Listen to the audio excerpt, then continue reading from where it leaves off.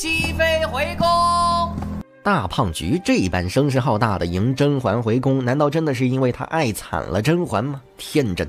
大胖菊之所以迎甄嬛回宫，其实有两个重要原因。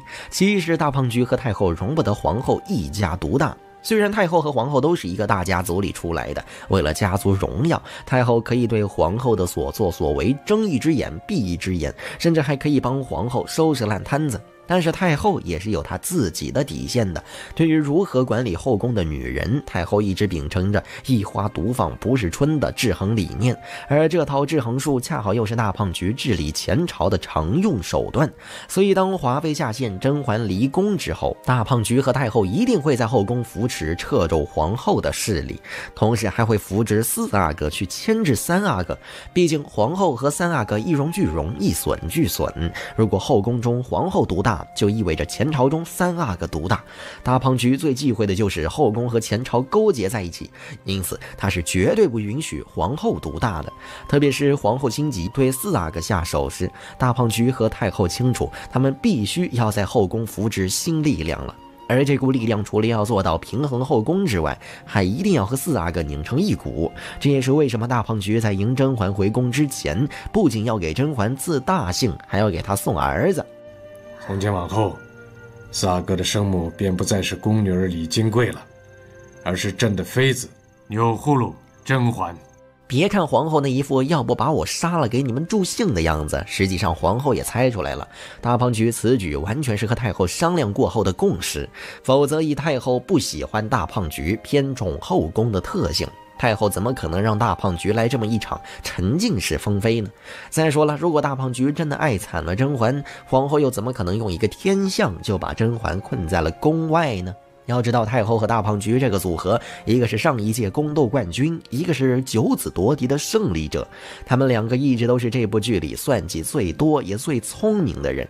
关于给甄嬛赐大姓、送大儿这事儿，只能是太后和大胖菊共同拍过板的。他们需要这么一个人，形成新的势力去平衡后宫前朝。其二是因为甄嬛变成了大胖菊想要的那种人。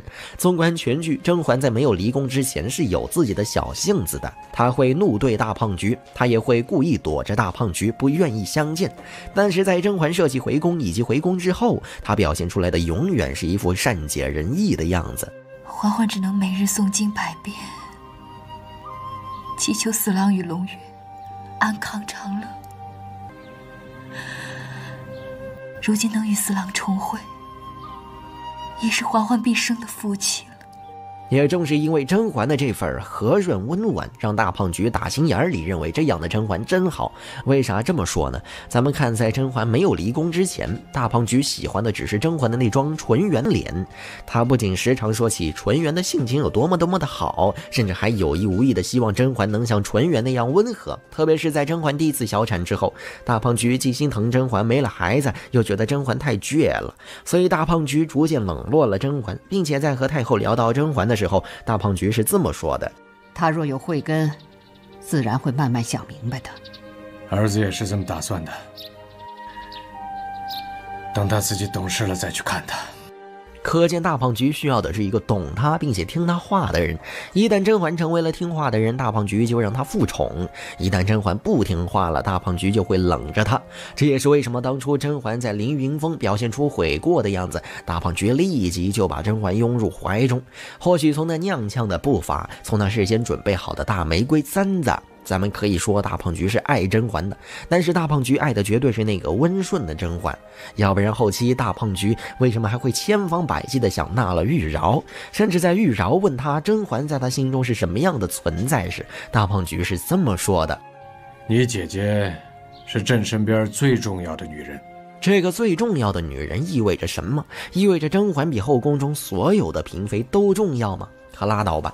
要是甄嬛真的这么重要，大胖菊还会不顾甄嬛的感受，想尽办法要娶玉娆吗？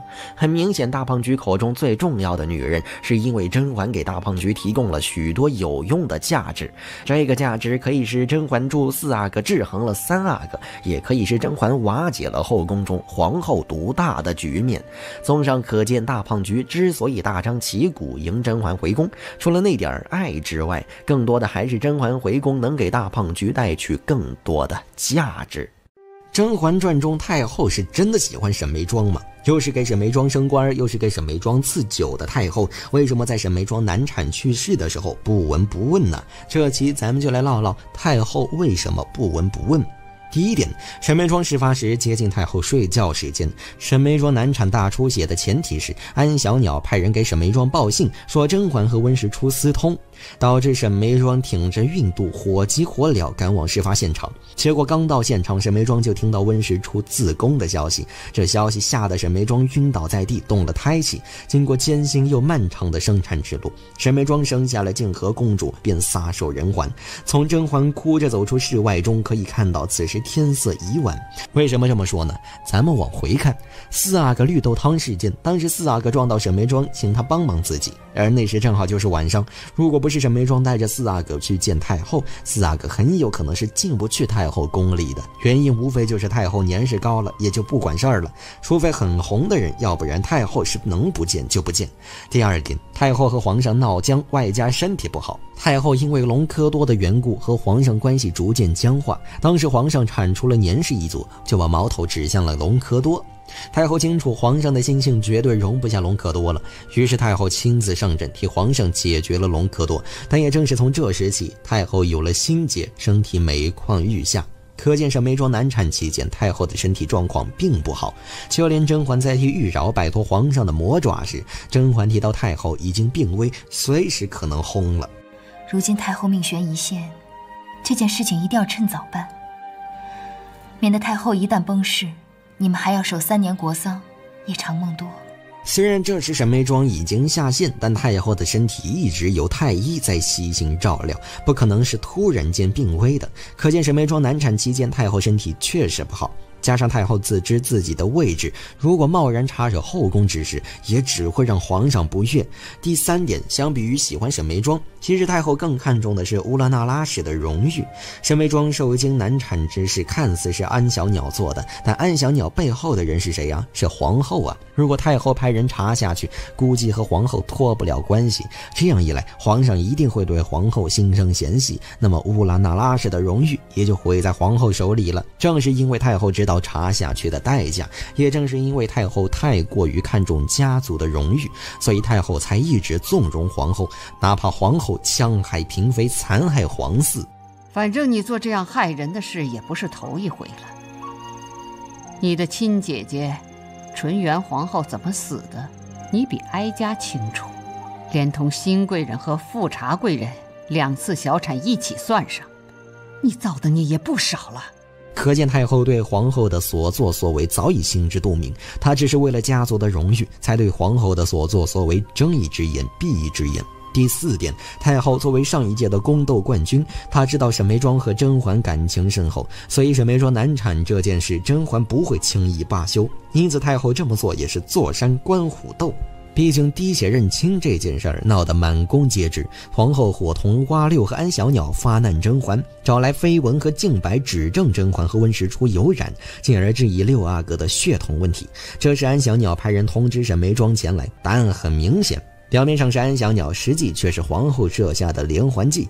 皇后以为稳操胜券，却不想被甄嬛逆风翻盘，还趁机扯下皇后的。就连安小鸟挺着孕肚给太后请安，太后见都不愿意见。可见，虽然剧中太后没有表现出十分。悲痛，但实际上沈眉庄的去世还是让太后难过万分。因此，在滴血认亲这件事后，可见太后是默许了皇上对皇后的处罚。这对一个把自己家族荣耀看得比天还重的人来说，这也算是对沈眉庄最大程度的支持了。为啥叶澜依对了苏菲，大胖菊没有像往常一样护着苏菲，反而还从胖菊变成了舔狗？又是陪叶澜依吃饭，又是给叶澜依送布料、裁衣裳，又是准叶澜依在后宫开动物园，甚至大胖菊还想撂下工作，带叶澜依出去散心。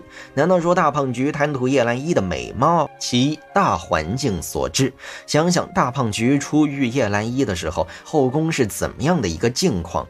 朱砂痣华妃下线了。解语花缓缓出宫了，温柔乡梅姐姐也心死了。在这偌大的后宫中，一心想跑到大胖菊眼前晃荡的人，只有瓜六、安小鸟以及真平、康常在这俩破产姐妹花。偏偏这几个人还都入不了大胖菊的眼，一个个见了朕就万岁万万岁的，噤若寒蝉。除了脸长得不一样，其他都一样。但叶澜依不一样，因为叶澜依满心满眼都是果子狸，他知道叶澜依和其他嫔妃不一样。叶澜依是鲜活的，而这种鲜活让大胖菊认为自己也变得鲜活起来。朕就是喜欢看见那些花朵一样的面孔，瞅着宁嫔那么年轻，觉着自个儿也年轻了。其二，大胖菊心中对华妃的愧疚，不管叶澜依是不是华妃周边，总之他俩身上有相似的地方，而这相似之处偏又是大胖菊最爱的。虽说剧中没有华妃骑马的剧情，但在华妃即将下线的时候，他就和嬛嬛提起过。王府里那么多年，机会，大胖菊就算想弥补心中那份愧疚，也弥补不了了。因此，大胖菊只好把这份愧疚转化为加倍的宠爱。皇上有旨，答应叶氏深受委屈。朕心痛惜，特进答应叶氏为贵人，赐号宁。这宁字的封号可以说和叶澜依的性子是毫不相干，倒不如说是息事宁人的宁。而这跳过常在，直接晋为贵人的操作，不知是大胖菊故意为之。毕竟在曹贵人揭发华妃恶行之后，太后就问过大胖菊，打算如何处置华妃。只要她不再生事，儿子日后。会给她个贵人的位分，让她好好养在宫里。这贵人的位分是不是赶巧？大概只有大胖菊自个儿才知道了。其三，也是最重要的一点，叶澜依毫无背景可言。众所周知，大胖菊疑心深重，他很怕前朝后宫勾结在一起，所以在进后宫的时候，大胖菊总会想着他们前朝的势力。而叶澜依一个孤女，又不愿与人往来，这种情况可以让大胖菊毫无顾忌，因此大胖菊对叶澜依是宠爱有加。殊不知叶澜依心中装着果子狸，大胖菊处理掉果子狸之后，叶澜依便和嬛嬛组成了屠龙小分队。到最后，他俩一个给大胖菊身体伤害，一个给大胖菊心理伤害，往日恩宠都在这温柔刀下消失殆尽。